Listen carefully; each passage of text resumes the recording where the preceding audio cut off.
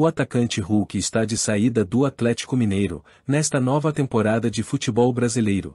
Aos 36 anos de idade, o atacante, ídolo do Atlético Mineiro, será em breve o mais novo reforço do Fortaleza, clube destaque do futebol cearense, que encontra-se nas primeiras posições da tabela do Brasileirão Série A.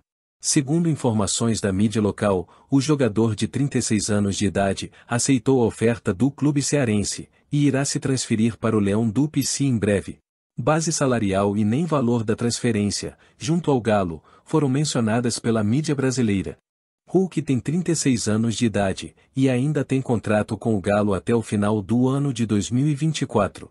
Para ter o grande atacante, é certo que o Fortaleza terá que desembolsar uma boa quantia ao clube de Belo Horizonte, que por sua vez, não tinha planos de perder seu grande jogador.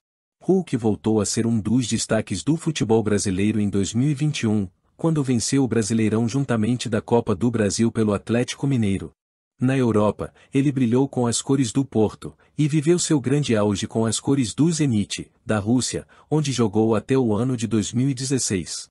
Com o Galo, Hulk deixa o clube como um dos maiores jogadores de todos os tempos.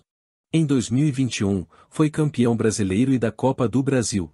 E aí torcedor do Leão, o que você acha da contratação do artilheiro Hulk?